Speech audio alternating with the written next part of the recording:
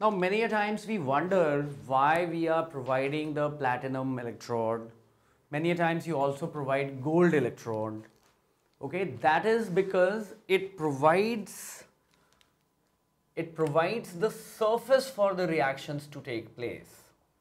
Okay, platinum or gold are used as electrodes as they are as they provide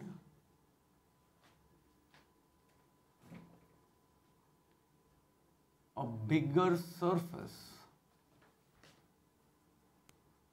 for the reaction to take place.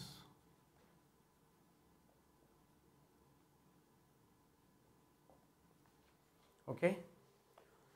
Without themselves participating in the reaction, without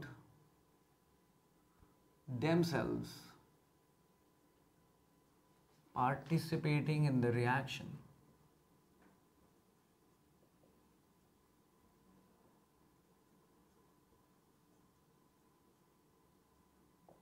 Now that becomes important. They themselves should not react and form, form something else. And they are pretty pretty noble metals right? They they do not react. That's the reason. It's not for some fancy that they're not making jewelry out of it right? So okay so so this platinum. As you see so so platinum is used in used in standard hydrogen electrode okay? And and the reaction is is what we already know to be this to be this okay? It is also used in bromine electrode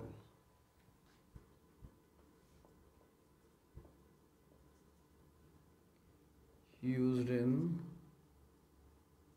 bromine electrode. Okay.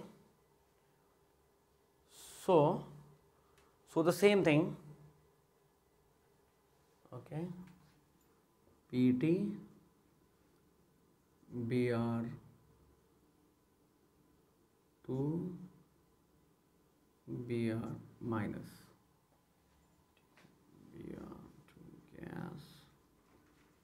Br minus okay and it is Br2 plus 1 electron giving me Br minus.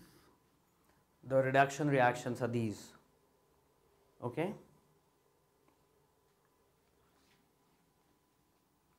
You'll understand in the fifth chapter that higher the area that is available for certain thing to spread, higher is the rate of reaction. Okay? The higher is the surface area that you provide, the higher is the rate of reaction. And hydrogen actually clings onto, onto the surface of platinum. Okay? This is called physisorption. Okay, physisorption. Some bonds develop between them and it spreads the more it spreads, the more is the area, fine, and faster is the reaction. So, so, so that is actually the surface chemistry in action, fine, and it will always happen. The more you spread something or cut something, the area will start becoming higher and higher and higher. For example, if you have a cube, okay, if you have a cube with each side as 1 meter. Then the volume of the cube is what? The sorry, the surface area of the cube is what? Surface area of the cube is 6 into 1 square which is 6 meter square. Now if I cut it into 1000 equal cubes and how can I do that? I'll have to put 10 cuts along this no? 10 cuts sorry sorry, sorry. 10 cuts along this. And and 10 cuts along this. And hope you hope you understand what I mean. So so if I'm giving this cut this will this will cut it like this. If I'm giving it this cut it will cut it like that so what will happen? You'll get how many thousand cubes each of side how much? Each of side one tenth meter right? 1 upon 10 meter. Because it has got 1 meter has got cut into cut into how many? 10 so 1 upon 10 right?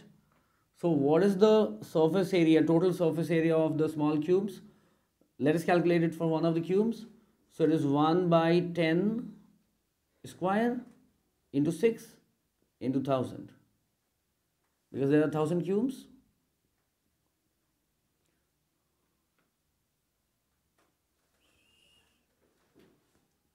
1000 cubes each having area of this. So it is actually giving me 60 meter square. Okay that's why when you use the powdered form of something what will happen is the surface area goes up and the and the reaction rate also goes goes up many a times so you'll find some powdered powdered copper being put in and suddenly the, the, the reaction which was not proceeding suddenly suddenly picks up. Okay? That's that is the catalyst because catalyst is something that actually does not participate in the reaction but somehow it still accelerates the reaction. Okay?